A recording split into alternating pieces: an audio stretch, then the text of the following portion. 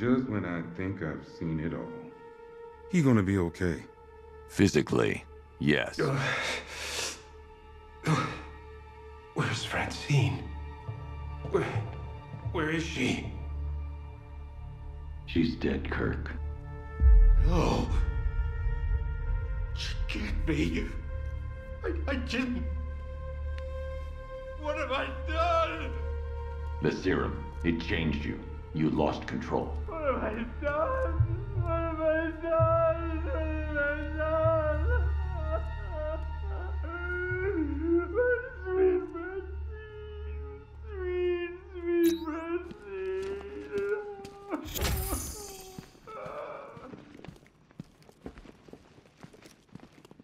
Gotham ain't going down yet, Batman. Thanks to you.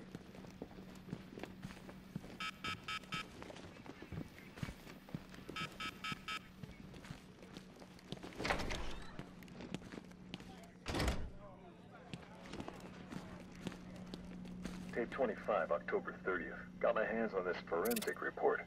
Human sacrifice. It's real. They're really happening.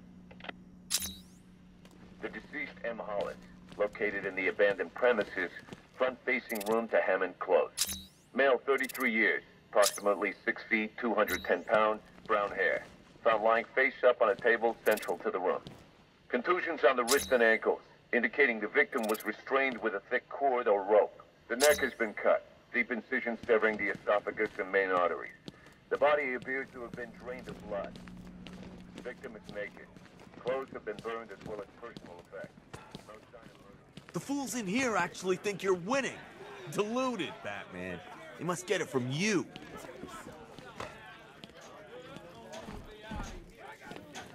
What, you've got nothing to say? How about an apology?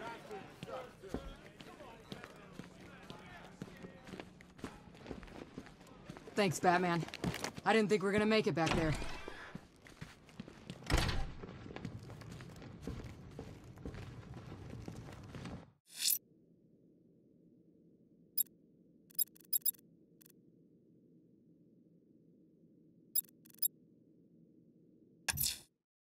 I'm heading to GCPD to investigate the transmission sent on a SWAT channel from within the city. Fingers crossed, sir, it sheds some light on Scarecrow's whereabouts.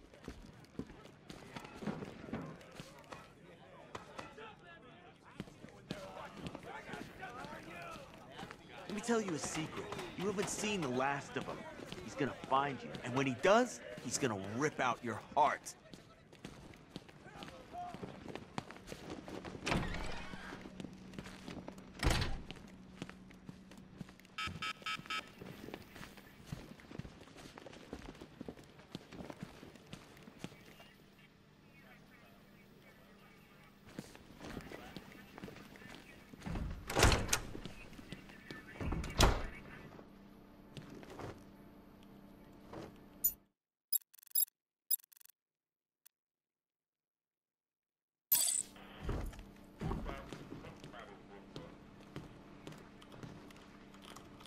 Tell me about this broadcast. Wish I could, sir, but it's on a SWAT channel. Encrypted. Those boys really don't like anyone listening in. I'm in. Are you reading me? It's Jim. I need you to send through some blueprints. I found Crane, and that bastard's going to die for what he did to my little girl. Was that the commissioner? What's he doing? Getting himself killed. But I've got the ID number of the radio he's using, and that means I can track him.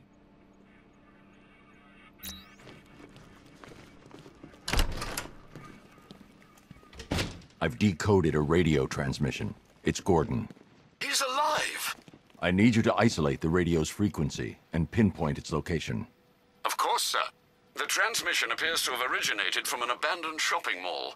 The building has been without power for some time, sir. You may well encounter some obstacles. The remote electrical charge prototype is being held in the GCPD evidence room. That should help. Very well, sir. I'm sure Officer Cash will understand.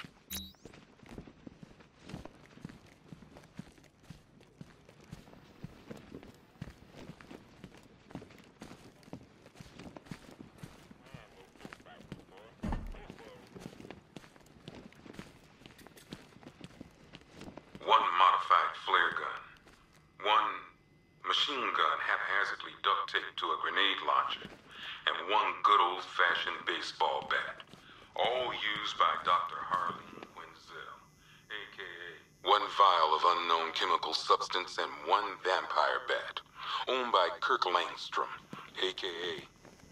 What are we gonna call this guy? Batman's already taken. I guess this guy's more of a man bat anyway.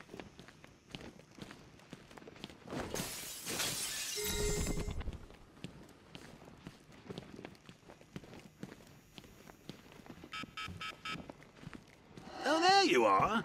Look, it's my stuff. So this is my memorial, huh? Not even a statue. They think they can just file me away, don't they? I've been sent back for a reason, Bruce, and no one's forgetting me this time around.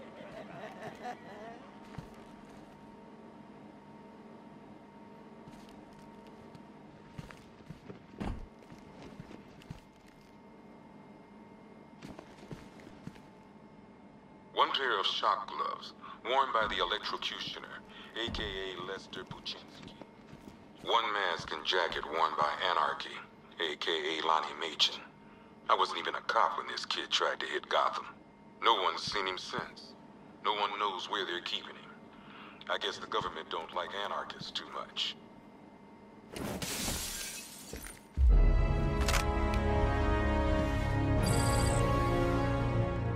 Okay, now I can go after Jim. Very subtle. I know this is the evidence room, Bruce, but you could have tried to cover your tracks.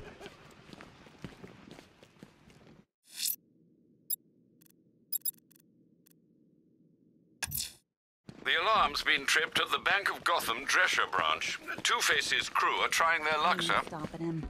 Don't look at me.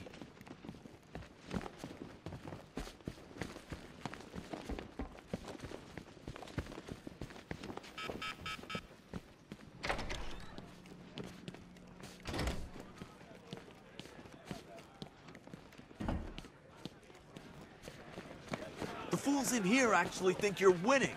Deluded, Batman. They must get it from you. You'll find him. I know it.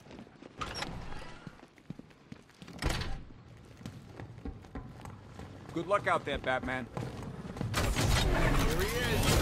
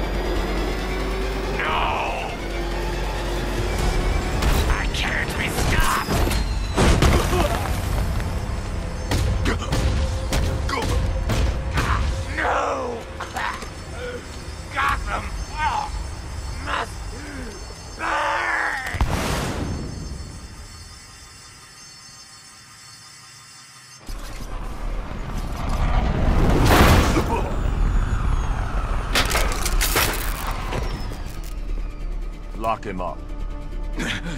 No! Batman. On your feet, Lynn. You will burn for this. All of you! Been wanting to add this to the collection for a while. Keep kicking ass out there, Batman.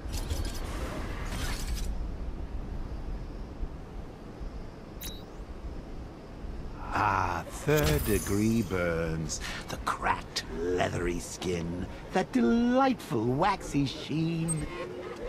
If I had to choose, I think burns would probably be my favorite scar tissue. Well, burns and mental scars. Right, Bruce?